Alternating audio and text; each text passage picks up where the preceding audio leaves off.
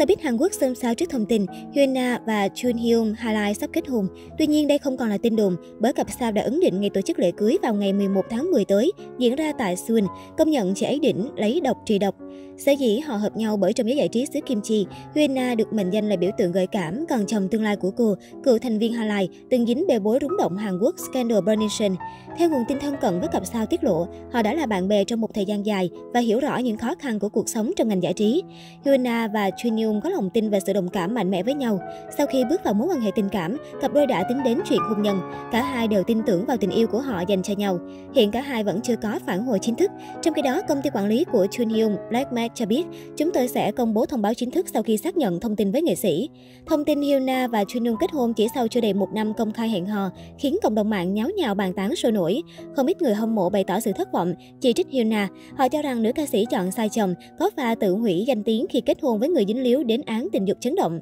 Cô ấy đang muốn chấm dứt sự nghiệp của mình à? Quyết định điên rồ của Hina Chị Hyuna ra MV phê phán ngành công nghiệp K-pop tình dục hóa hình ảnh của chị. Giờ chị cứ luôn một người từng coi video quay lén. Chúc mừng Hyuna đã tự hủy hoại sự nghiệp của mình thành công. Ngưu tầm ngưu, mã tầm mã. Hai anh chị xin bên nhau đến cuối đời, làm ơn đừng buông ra. Cư dân mạng chỉ trích Hyuna. Tuy nhiên cũng không ít người cho rằng cưới xin là chuyện cá nhân của Hyuna và Chun Nếu họ yêu nhau thật lòng và muốn đi đến hôn nhân cùng nhau, thì dân tình cũng không nên phán xét một cách quá tiêu cực với cặp sao. Công nhận chị đỉnh lấy độc trị độc luôn.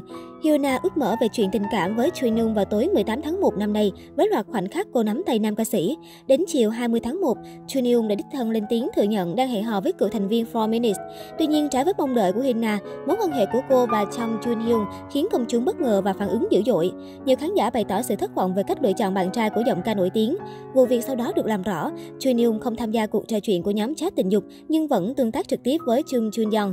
Anh cũng thừa nhận đã xem những video bất hợp pháp từ bạn thân gửi. Sau ồn ào trên, Dòng Chun tuyên bố rời nhóm Highlight và ra làm ca sĩ tự do. Đây không phải lần đầu Hyuna gây chú ý vì chuyện tình cảm cá nhân. Năm 2018, Hyuna công khai mối quan hệ với Đào, thành viên của Pentagon, nhóm nhạc trực thuộc công ty quản lý cũ của cô Cube Entertainment. Cả hai bị buộc rời khỏi công ty giải trí Cube Entertainment với lý do công khai quan hệ mà không thảo luận trước với công ty quản lý. Việc chia sẻ chuyện tình cảm của họ cũng khiến nhóm Pentagon của Đào bị ảnh hưởng hoạt động, khiến các thành viên trong nhóm khó chịu. Bất chấp sự phản ứng của công chúng và sự ngăn cản của công ty quản lý, Hyuna và Đào dường như cố tình thách thức dư luận, liên tục công khai những khoảnh khắc riêng tư của họ trên mạng xã hội.